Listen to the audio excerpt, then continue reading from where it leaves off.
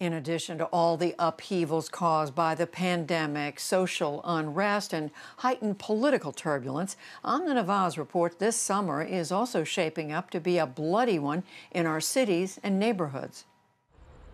From New York to California, Atlanta to Chicago, a July 4th weekend interrupted by gun violence, leaving dozens, including children, dead. Enough is enough. In Atlanta, 31 people shot and five killed, including eight year old Secoria Turner. Atlanta Mayor Keisha Bottoms. We are shooting each other up on our streets in the city, and you shot and killed a baby. And it wasn't one shooter, there were at least two shooters. An eight year old baby. Georgia Governor Brian Kemp moved in the National Guard in response. Meanwhile, in Washington, D.C., 11 year old Davon McNeil was killed at a cookout aimed at preventing violence. D.C. Mayor Muriel Bowser. This should not have happened, and it cannot keep happening. We can't keep losing our children uh, to senseless gun violence. And in Chicago, 87 people shot over the weekend and 17 killed. Among them, seven year old Natalia Wallace, struck by a stray bullet while playing outside. There were kids uh, riding by on bicycles, as we said, enjoying a 4th of July, as they should have been. And, and now this child is gone. As some cities see a spike in gun violence this summer, the reasons why are now the subject of debate. In New York City, where 64 people were shot over the weekend and June homicides hit their highest since 1996, Mayor Bill de Blasio blamed the pandemic. And it's directly related to all the dislocation that's happened over these last four months with the coronavirus. Others point to a strained police force as a factor after demonstrations against police brutality and recent reforms banning some use of force. New York Police Commissioner Dermot Shea. You know, we need three things. I'm going to keep repeating it for people. We need support. We need laws that help the police instead of handcuff them. And then we need resources. Even President Trump, in his July 3rd Mount Rushmore speech, linked the rise in protests to the rise in violence. Angry mobs are trying to tear down statues of our founders, deface our most sacred memorials, and unleash a wave of violent crime in our cities. Violent crime, however, has not risen uniformly across the country or among cities, and many types of crime are down. We take a closer look now at this recent surge in gun violence with Pastor Mike McBride, director for the Live Free campaign. That's a faith based movement committed to reducing gun violence and to ending mass incarceration for people of color and with Thomas Abt. He's senior fellow at the Council on Criminal Justice and a co-author of the nationwide homicide study by Arnold Ventures, a philanthropy focused on criminal justice. Welcome to you both, and thank you both for being here. Thomas Abt, let's start with you because these headlines get a lot of attention, especially when you're talking about the number of children that have been killed. But when you look at the data, is it different from years past? Help us put some context around what we've been seeing so far this year. Sure. The study that uh, my colleague Richard Rosenfeld and I performed looked at the impact of homicide uh, over the first five months of this year compared to the three year average uh, in previous years. And what we saw was while there was a significant decline in homicides in April and May as a result of the social distancing measures put in place due to the pandemic, uh, unfortunately, the first three months of the, of the year were quite violent. And in fact, at, at the end of that five month period, we were up in terms of homicides compared to that three year average, 6%. And unfortunately, uh, we don't have the data yet, but it looks like June was even worse. Pastor McBride, let's put some context on from your end. Now, what were you seeing earlier in the year on the ground in the communities you've been working in for years to address gun violence? And how did the pandemic affect what you were seeing? Well, I think it's very important for us to continue to remind ourselves that gun violence in urban communities across the country is largely focused with a small number of individuals who are driving disproportionate amounts of violence. And even during the pandemic, many of our outreach workers were deemed necessary essential workers to help address the conflicts that continue to persist.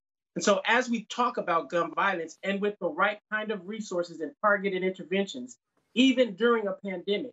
We know those who are driving violence, who are caught in the cycles of violence, and we have the solutions to ensure that that violence does not spiral out of control. So, Thomas Aptis, people are trying to understand what was driving that earlier surge that you mentioned.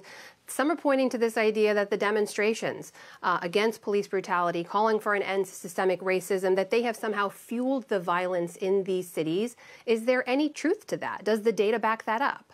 Well, um, at the outset, I couldn't agree with Pastor McBride more. There are evidence informed, community informed approaches to addressing urban violence, and we need to step up our support for those approaches. But turning to your question, I think that's an unfair critique. And in fact, I think that the protests are a natural reaction to a highly publicized and terrible, tragic incident of excessive deadly force on top of years of a persistent, ongoing problem that communities of color have been trying to call attention to literally for decades.